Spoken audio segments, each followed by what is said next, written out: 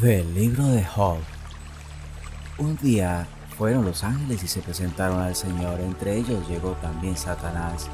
El Señor le preguntó, ¿de dónde vienes? Él respondió, de dar vueltas por la tierra. El Señor le dijo, ¿te has fijado en mi siervo Job? En la tierra no hay otro como él. Es un hombre justo y honrado que teme a Dios y se aparta del mal. Satanás le respondió, ¿y crees que teme a Dios de balde?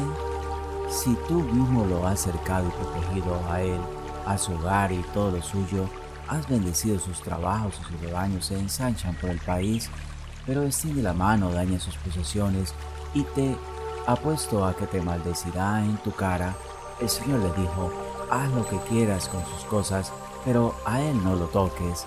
Y Satanás se marchó.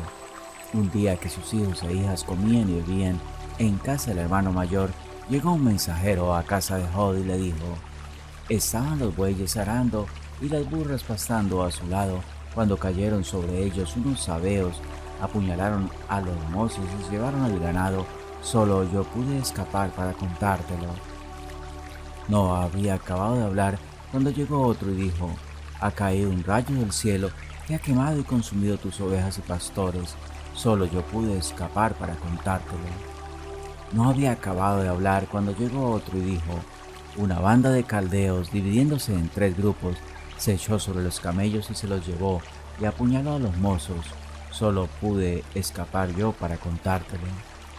No había acabado de hablar cuando llegó otro y dijo, estaban tus hijos y tus hijas comiendo y bebiendo en casa del hermano mayor, cuando un huracán cruzó el desierto y embistió por los cuatro costados la casa que se derrumbó y los mató.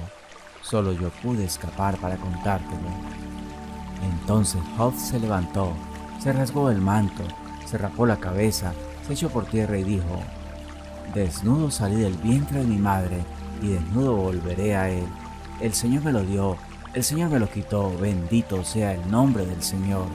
A pesar de todo, Job no protestó contra Dios. Palabra de Dios.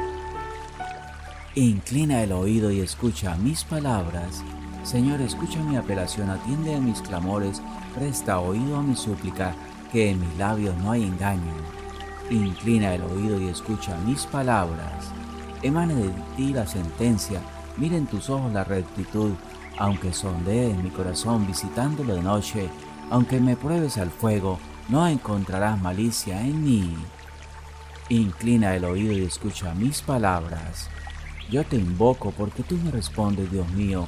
Inclina el oído y escucha mis palabras. Muestra las maravillas de tu misericordia, tú que salvas de los adversarios a quien se refugia a tu derecha. Inclina el oído y escucha mis palabras.